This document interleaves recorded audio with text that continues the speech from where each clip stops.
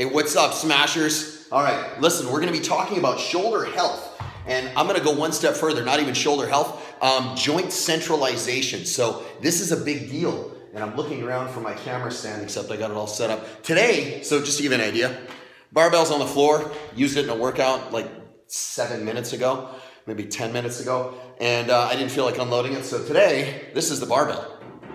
That's a PVC pipe, but you can use anything. So what I'm gonna show you is basically what happens is, let's put this down so you can see what I'm talking about. We're gonna use all kinds of stuff today. So thoracic spine, just to give you an idea, aids in you losing joint centralization. So what starts to happen is, just to give you an idea of, of, of, how the mechanics of the shoulder work, remember the shoulder sits in the center of the, of the glenoid uh, fossa, right? Head of the humerus sits in there. It's designed to stay central on, on a point in that joint. If it doesn't, it rolls towards, uh, there's 360 degrees of sides it can beat the snot out of. The problem is, is that when it rolls to the side, it tends to stay there, excuse me. And then there's seven uh, muscles that come from the scapula to the humerus, including the deltoid for that matter, and what they start they start to do is they start to hold and anchor that because your brain gets a signal saying that's normal position. Your body reinforces that position. It tries to dodge the pain, and next thing you know, you got all kinds of chaotic problems in your shoulder. It's not even really a shoulder problem. So what I realize right now we're looking down like this because I set the camera on the floor, but that's because I don't want to take this off.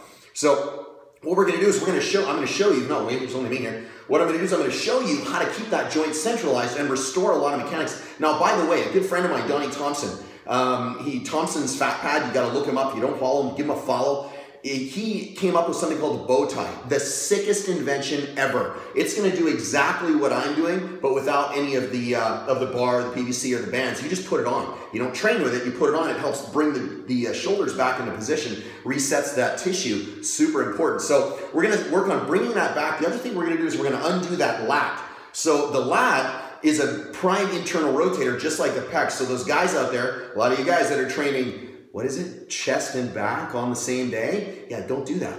Because it's not that they're opposing muscle groups, they're really not when it comes to the shoulder because they're both internal rotators. So they chew up your shoulder super bad. So you want to undo that, don't train them together. Um, that's really important. So we're to unload that lat on a roll and with some distraction, I'm to show you how to peel away that lat all the way down the entire seam in here. And then we're to unload the shoulder and pull that back into place. Then we're to reset the joint. Then you're good to go. It's just that simple. You got a centralized shoulder and boom, you're good to go. All right, so first things first, we're to get right in here. So if you can see me without me eating it this way, all right, we'll go like this. So I have a band back here. I'm gonna loop into the band. So this, if this goes sailing, by the way, it's because it's just a piece of PVC pipe. So you take the band, if I can find it back here, here it is. So we take the band, we load up. So the band should be about shoulder height. And we look, the band is sitting around the shoulders like this. I'm gonna lean forward. So I'm pulling forward, the band is behind me. I'm gonna come back, grab the PVC, in this, or you know, ideally I would use a, um, a barbell and load some weight on it so you can't move it around because this, really unstable. But you want to get out nice and tall. Remember the, the, uh, the bar, we'll pretend this is a bar. The bar is at about mid shoulder or mid uh, scapular height. You're gonna come up real tall and I would use a bigger band, use probably a, a one inch band to get capture a little more tissue. But you can see the band there behind me. The band is gonna drag the shoulders back into position. I want you to, to externally rotate, lock out the biceps. So this is an easy, really shitty position to be in. It's not doing a damn thing. So what I want you to do is externally rotate and lock out those shoulders and get these arms as close as possible. And then just camp out like this for how long? Two minutes. If I let go of one side, PVC is gonna go sailing, which would be funny as hell on video, by the way. So if I get stuck in this, just is what it is. All right, so that's number one. Number two, we got to use that, which means I need to get a new camera stand.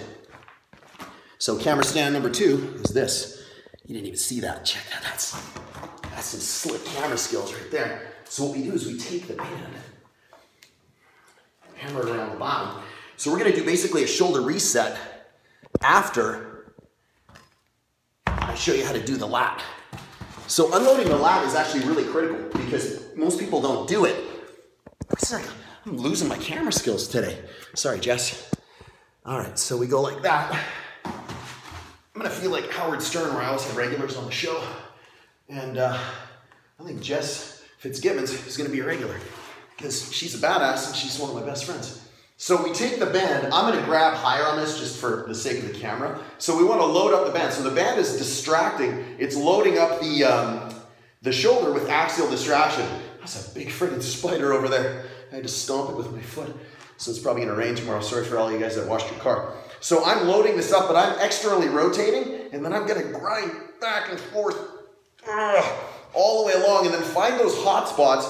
You'll go down lower than you think, because that's where that lat goes into that thoracolumbar fascia.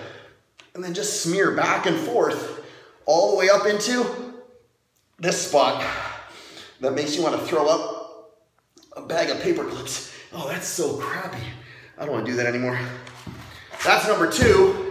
And number three is the actual reset itself. That noise you just heard was the foam roll taking a nosedive.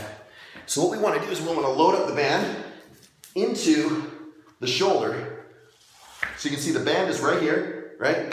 Twang. Band right here, loading into the shoulder. I'm gonna take a dumbbell, kettlebell, it doesn't really matter what it is. This is a 30 pound, and I'm gonna take it and I'm gonna let the band drag my shoulder superior. And so I don't want to drag it out because it'll wind up distracting and pulling off the shoulder. I'm gonna wind up dragging it super. You can use a dumbbell, you can use a kettlebell. I have a dumbbell here, I just happen to grab it.